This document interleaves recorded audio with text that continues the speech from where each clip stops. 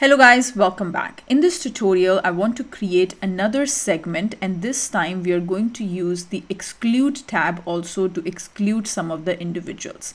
So what is the segment we are going to create? We are going to create a segment where we are going to include all the people whose birthday month is January and we will exclude the ones who have spent less than $2,000.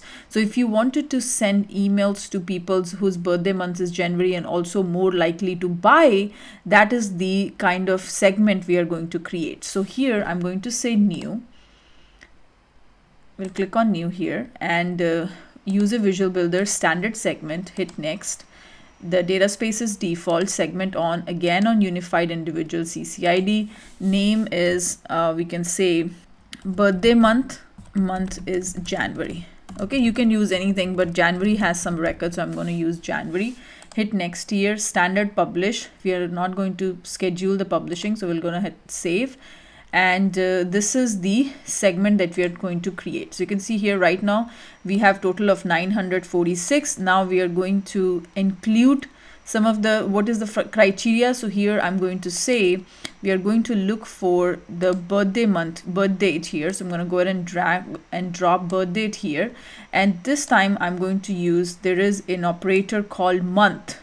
So if i go ahead and look for month month of year and we're going to select january. So now let's see how many people shows up whose birthday month is January. So I'm going to go ahead and start the recount.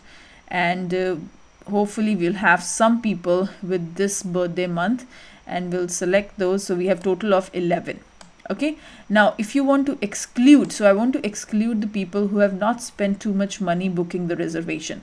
So here i'll go back and i'll go to the calculated insights lifetime calculated insights and lifetime value of the customer is less than okay 2000 okay? So it's less than 2000 so exclude the people who have spent 2000 less than 2000 dollars booking reservation.